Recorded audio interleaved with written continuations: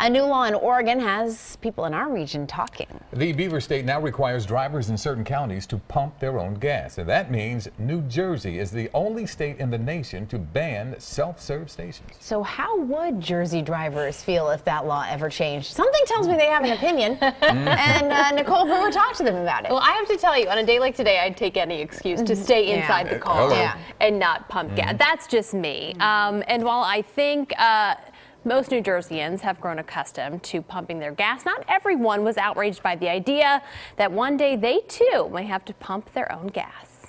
In New Jersey, it's the norm.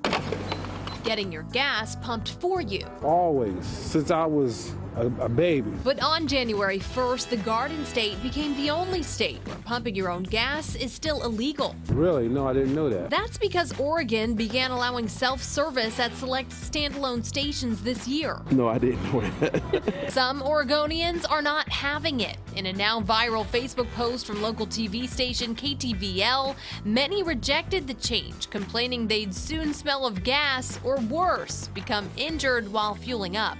Overreaction. I don't really know what's so hazardous or dangerous about it. Just laziness. They just don't want to get on it and pump their gas. Others claimed they simply weren't capable. when we go on road trips, I, when we pull up to a gas station, I always ask my husband, like, "Are you sure you can do it? Are you sure you know how?" Because he grew up here. Which made us wonder how would New Jerseyans react if their state decided to pull their full service pump privileges? I'll be on social media too. You gotta be able to pump your own gas if you can. Right now, it's just too cold to go out there and pump it.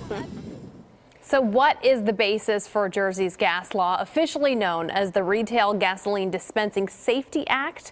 Well, the legislation, which was passed back in 1949, cites personal safety issues and health concerns. And while that may no longer hold up, at least according to some folks, any effort to overturn it has been viewed unfavorably, so it remains well intact. Yeah. Yep. Doesn't Yep. As they say, if it ain't broke. Don't.